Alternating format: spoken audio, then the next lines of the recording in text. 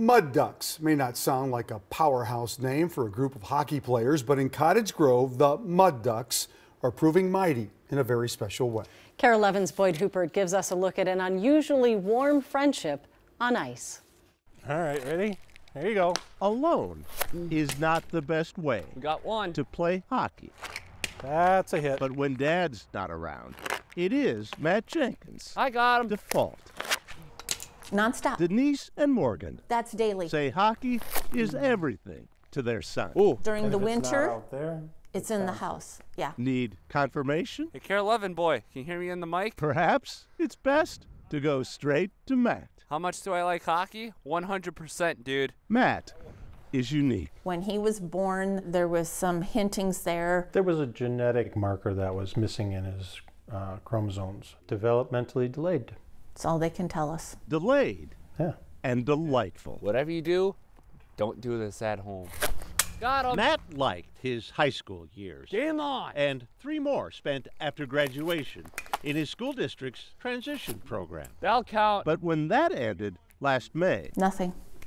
After that, here you go. missing his friends and structure, Matt found solace alone at the Cottage Grove Ice Arena during open skate.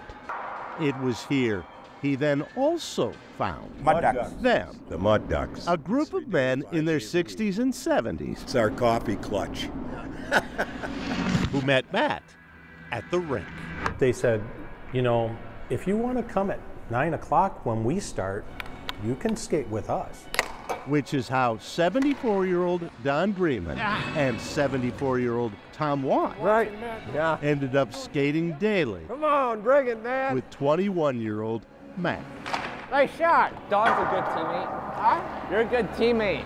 Oh, thank you, sir. They're his team. This is where it all begins. The team that thought Matt needed better gear then bought it for him, Get those pads on. including a jersey like theirs. He sets his alarm every day. My duck's on it. Sitting at the front door waiting. That looks good. Just when Matt needed new friends, You look like one of us. He is. he found them Hey, three times his age. I'm bringing up the rear. They are everything to him. He comes home and he talks about them. So and so wasn't here today. They think he's sick. I hope he's okay.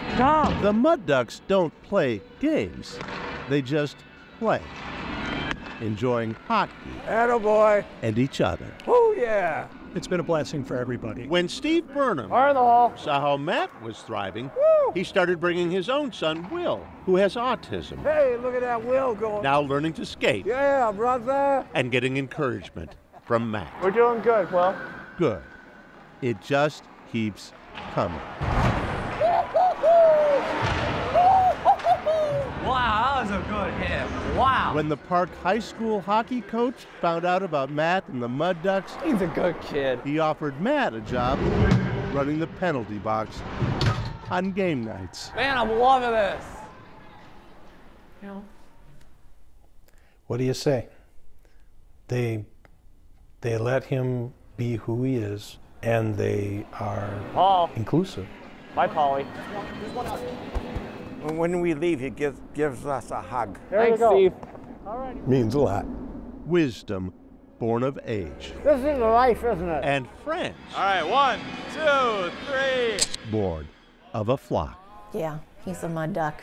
Boyd Huppert, KARE 11 News, He's a mud duck. He's a mud duck. Cottage Grove. Matt also plays Special Olympics hockey. He has a big tournament coming up in a couple weeks in Stillwater. Some of the Mud Ducks plan to attend to cheer him on. We should all be so lucky as to be a no Mud kidding. Duck.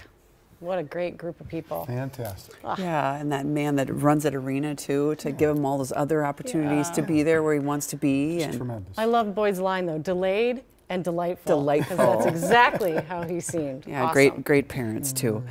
All right.